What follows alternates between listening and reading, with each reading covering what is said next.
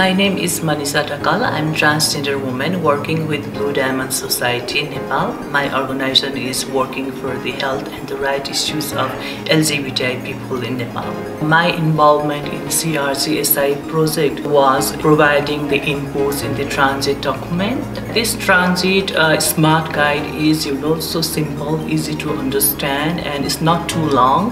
There were two consultation workshops that a national consultation held in my country the catalytic funding for the enabling environment and the component for the comprehensive service packages for the HIV service delivery program. For those projects, we use uh, this transit document as a reference tool to raise our voices to be implemented in those uh, consultation program.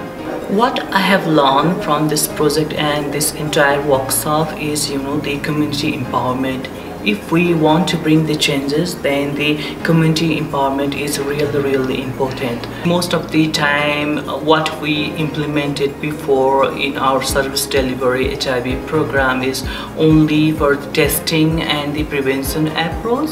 But if we want to uh, bring the community people in our services then we need to design the program for the you know the comprehensive approach of the holistic services. I want to roll out this transit smart guide to the grassroots level organization so that they can implement the guidance from this transit smart guide to their service delivery program that targeted to the transgender people in the grassroots level